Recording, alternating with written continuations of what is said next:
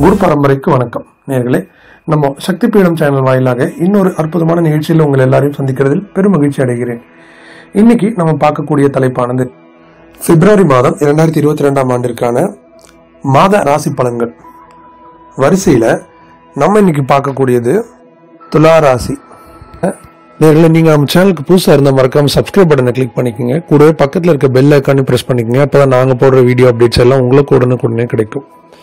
இந்த பிப்ரவரி மாதம் இரண்டாயிரத்தி இருபத்தி ரெண்டாம் ஆண்டு நம் துளாராசி நேயர்களுக்கு கிரக நிலைகள் எப்படி இருக்கின்றத முதல்ல பார்த்துருவோம். மாதத்தின் தொடக்கத்தில் முயற்சி ஸ்தானத்தில் மூணாவது இடத்துல செவ்வாய் மற்றும் ராசிநாதன் சுக்கரன் இருக்காங்க. தன குடும்ப வாக்குஸ்தானம் விருச்சிகத்தில் கேது. நான்காம் இடமான சுகஸ்தானம் மகரத்தில் சனி சூரியன் மற்றும் புதன். ஐந்தாம் இடமான பூர்வ புண்ணியஸ்தானத்தில் குரு. எட்டாம் இடமான அட்டமஸ்தானத்தில் ராகு. இதுதான் கிரகநிலை.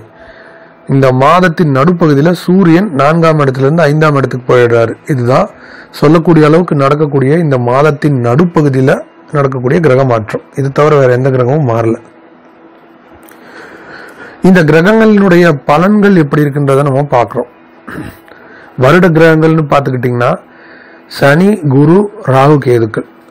இப்போ ராகு கேதுக்களின் அமைப்பு துலாம் ராசிக்கு ரெண்டு எட்டு அப்படின்ற இடத்துல ராகு கேதுவினுடைய அமைப்பு இருக்கு. இந்த ரெண்டு எட்டு அப்படின்ற அமைப்பு பார்த்தீங்கன்னாக்க குடும்ப வாக்குஸ்தானம் தனஸ்தானத்தில் கேது துலா ராசி நேயர்களுக்கு கடந்த கிட்டத்தட்ட ஒன்றரை ஆண்டுகளாக குடும்ப விஷயங்களில் பல சங்கடமான நிலை மனதுக்குள்ள குழப்பம் வருத்தம் பலவிதமான சிக்கல்கள் இன்னல்கள் இந்த மாதிரி விஷயங்கள் குடும்பத்தில் அதாவது குடும்ப உறுப்பினர்களுக்கு நடுவில் குடும்பத்தில் பிரிவு கூட்டு குடும்பமாக இருக்கவங்க தனி குடும்பமாக போகிறது அல்லது அதுக்கு போகிறதுக்கான முயற்சிகள் எடுக்கிறது இந்த மாதிரியான பல விஷயங்களையும் நம்ம பல துளாராசி நேர்களுக்கு இந்த ராகு அமைச்சு கொடுத்துட்டாங்க. அட்டமத்து ஸ்தானம் எட்டாம் இடத்துல ராகு பேர் கெட்டு போகிறது உங்களை பத்தின ஒரு தவறான அபிப்பிராயம் குடும்ப உறுப்பினர்கள் மற்றும் மூணாவது மனுஷங்களுக்கு வர்றது. தேவையற்ற குழப்பங்கள் டென்ஷன் அலர்ஜி மருந்து சாப்பிட்டு அந்த மருந்து ஒத்துக்காம போற ஒவ்வாமை சில கந்திருஷ்டி ஏவல் போன்ற விஷயங்கள் இருக்குமோன்ற பயம் சிலருக்கு இருக்கு சிலருக்கு இருக்குமோன்ற பயம் மட்டும்தான். அந்த மாதிரியான அமைப்புகள் போன்ற பல விஷயங்களை இந்த அட்டமஸ்த ஸ்தானத்தில் இருக்கக்கூடிய ராகு ஏற்படுத்தியிருப்பாருங்க. அதே போல உங்களுடைய வருட கிரகம்ன்றது இப்போ குரு பார்த்துக்கிட்டிங்கனாக்கா ஐந்தாம் இடம் பூர்வ புண்ணிய ஸ்தானத்தில் அது ஓரளவுக்கு திருப்திகரமான பலன்.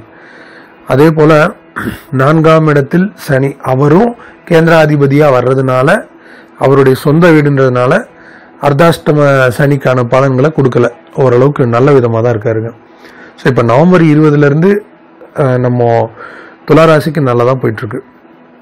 இந்த பிப்ரவரி மாதம் எப்படி இருக்குன்னு பார்த்தா ராகு கேதுக்களின் நிலையில சின்ன சின்ன மாற்றங்கள் ஏற்படும் இப்போ இவ்வளோ நேரம் சொன்னேன்ல குடும்பத்தை பற்றி உங்களுடைய தனிப்பட்ட இதுலலாம் சொன்னேன்ல அதில் மாற்றங்கள் ஏற்படும். ஏன்னா ராகு கேதுக்கள் கிட்டத்தட்ட பயிற்சி அடுத்த மாதம் ஆக போகிறாங்க அப்போ கிட்டத்தட்ட அவங்க இந்த இதுக்கு முன்னாடி இருந்த ராசியினுடைய இறுதி பகுதிக்கே வந்துட்டாங்க. அப்போ என்ன ஆகும் இப்போ வந்து கேதுங்கிற ராசிக்கு வர்றாரு. இது அவ்வளோ சிறப்பாக இல்லை.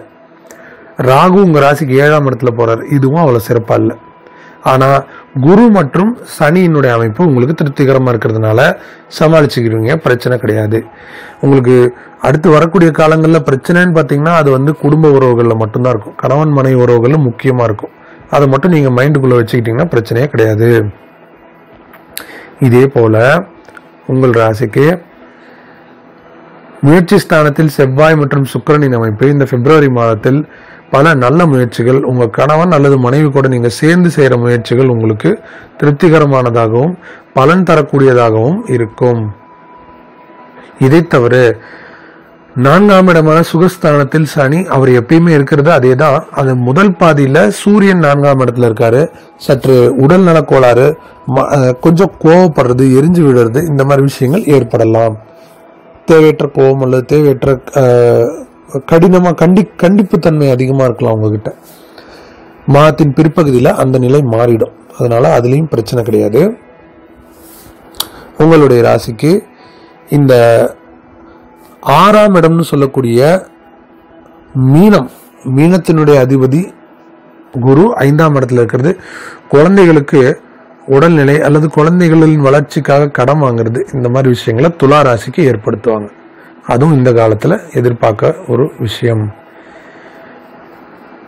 அதை தவிர துளாராசினியர்களுக்கு மனக்குழப்பம் அதிகமாக இருந்துக்கிட்டே இருக்கக்கூடிய காலம் சந்தேகமும் அதிகமாக இருக்கும். அதை நீங்கள் கொஞ்சம் கேர்ஃபுல்லாக வச்சுக்கணும்.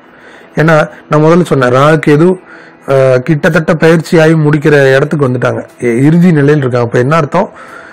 இப்போ உங்கள் ராசிக்கு வந் வந்துட்டா என்ன பலன் கொடுப்பாங்களோ அந்த பலனை கொஞ்சம் கொஞ்சம் கொடுக்க ஆரம்பிச்சிருவாங்க. அடுத்த பயிற்சிக்கு. அப்போது கேது உங்கள் உங்கள் ராசிக்கு வந்தால் விரக்தி வேதனை தேவையற்ற குழப்பம் மனக்கவலை சஞ்சலங்கள் இந்த மாதிரியான விஷயங்களை கேது கொடுப்பாரு. அப்போது அந்த கேதுவினுடைய அமைப்பு அங்கே வரத்தான் செய்யும். அதனால் அதை நீங்கள் கொஞ்சம் ஃபேஸ் பண்ண வேண்டிய ஒரு காலகட்டம் வரும். அதுக்கு நீங்கள் ப்ரிப்பேர்டாக இருங்க. ஆனால் உங்களுடைய கேந்திராதிபதி சனி பூர்வ புண்ணியாதிபதி சனி அதே போல குருவும் உங்களுடைய அமைப்புக்கு ஓரளவுக்கு நல்ல நிலையில் இருக்காரு. அதனால பெரிய கவலைகள் இல்லை. கல்வி வியாபாரம் எது அதாவது இந்த வெளிநாடு சம்பந்தமான தொழில் இது எல்லாமே நல்லா போகும். அரசு துறைகளில் இருக்கிறவங்க சேவை போக்குவரத்து காவல் இந்த மாதிரி துறையில் இருக்கிறவங்களுக்கு கொஞ்சம் வேலைப்பளு அதிகமாக இருக்கும். அதே மாதிரி இந்த குரு பகவானுடைய பார்வை உங்கள் ராசிக்கு பாக்கியஸ்தானத்தையும் லாபஸ்தானத்தையும் உங்கள் ராசியுமே பார்க்கறது கூடுதல் சிறப்பு. உங்கள் ராசிக்கு குரு மற்றும் பூர்வ புண்ணியாதிபதி சுகாதிபதி சனி இவங்க ரெண்டு பேர்த்தோட பார்வையுமே இருக்கு. குரு சனி பார்வை ராசிக்கு இருக்கிறது உங்களுக்கு தெய்வீக அருளை நிச்சயமாக கொடுக்கும். ஓகேங்களா? அதே மாதிரி டியூட்டி கடமை ரெஸ்பான்சிபிலிட்டி இந்த மாதிரி விஷயங்கள்ல அதிக ஃபோக்கஸை உண்டு பண்ணும். அதனால பெருசா நீங்க கவலைப்பட தேவையில்லை நேர்களை கடுமையான உழைப்பு மற்றும் கடமை இச்சை பலனை எதிர்பார்க்காதுன்ற அமைப்பு உங்களுக்கு. குருவால பார்க்கப்படுறதுனால உங்க தந்தையாரின் ஆரோக்கியம் தொலைதூர பிரயாணம் ஆன்மீக பாதை இஷ்ட தெய்வத்தினுடைய சப்போர்ட்டு குரு வழிகாட்டுதல் இது எல்லாமே உங்களுக்கு கிடைக்கும். லாபஸ்தானத்திற்கு குரு பார்வை திருமண உறவினால் சந்தோஷம் தொழில் வியாபார வளர்ச்சியினால் சந்தோஷம் போன்ற சந்தோஷமான நிலைகளும் அவ்வப்போது ஏற்படும். ராசிக்கு பார்வை தன்னம்பிக்கை தைரியம் ஒரு தெளிவான பாதை திட்டமிடுதல் போன்ற விஷயங்கள் நிச்சயமா துளாராசினியர்களுக்கு ஏற்படும். மொத்தத்தில் துளாராசி நேயர்களுக்கு இந்த பிப்ரவரி மாதமானது பெரும்பாலும் நன்மையும் சில தீய பலன்களும் கலந்திருக்கக்கூடிய ஒரு அமைப்பாகத்தான் இருக்குது துளாராசி நேயர்களுக்கான வ- மாத ராசி பலன்களை நம்ம முடிவுக்கு வந்துட்டோம். இந்த பதிவு உங்களுக்கு பிடித்திருந்தா பதிவை லைக் பண்ணுங்க. கூடவே பக்கத்தில் இருக்க சப்ஸ்கிரைப் பட்டனை கிளிக் பண்ணிக்கோங்க. நீங்கள் நம்ம சேனலுக்கு புது நபராக இருந்தால். அப்பதான் நாங்கள் போடுற எல்லா அப்டேட்ஸும் உங்களுக்கு ஒன்றுக்கு உடனே கிடைக்கும். இந்த பதிவு குறித்து ஏதாவது சம்பந்தங்கள் உங்களுக்கு சந்தேகங்கள் இருந்தால் நீங்கள் நம்ம கமெண்ட்ஸ் பா கமெண்ட் பாக்ஸில் மறக்காமல் உங்களுடைய சந்தேகம் அல்லது ஃபீட்பேக்கை கொடுங்க. நிச்சயமாக அதுக்கு நாங்கள் உடனடியாக ரெஸ்பான்ஸ் கொடுக்குறோம். உங்கள் உறவினர்கள் ஃப்ரெண்ட்ஸ் மத்தியில் யாராவது துளாராசி இருந்தால் இந்த பதிவை அவங்களுக்கு ஷேர் பண்ணுங்கள் ஸோ அவங்க அவங்களுடைய இந்த வரக்கூடிய பிப்ரவரி மாதம் எப்படி இருக்குன்னு தெரிஞ்சுக்கிட்டு வாழ்க்கையை நடத்துவாங்க. மீண்டும் ஒரு நல்ல பதிவில் உங்களை சந்திக்கும் வரை உங்களிடமிருந்து விடை பெறுவது உங்கள் வராய் ஜோதிடன் ஜாமக்கோள் வித்தகன் ஹரிசுதன். நன்றி நேர்களே வணக்கம்.